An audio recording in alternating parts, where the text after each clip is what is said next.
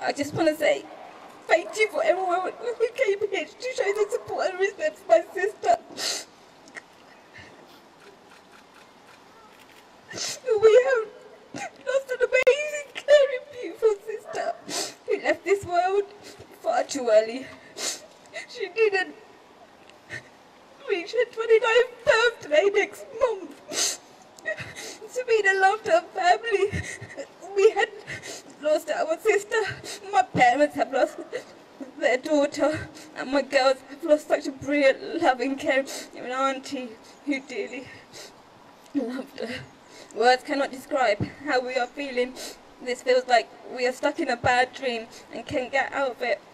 Our world is shattered. We have simply lost for words. No family should go through what we are going through. Once again, thank you for everyone for coming and showing your support for my sister. Thank you.